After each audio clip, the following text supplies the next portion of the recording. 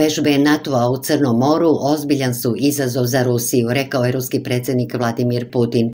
Oni koriste stratešku avijaciju sa bojevim oružjem i to je ozbiljan izazov za Rusiju, istakao je ruski predsjednik, a prenosi Rija Novosti.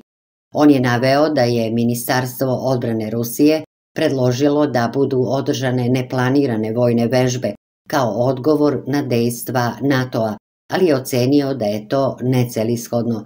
Oružane snage Ruske federacije ograničavaju se samo na praćenje NATO aviona, kao i brodova, rekao je Putin, prenose agencije i espresso.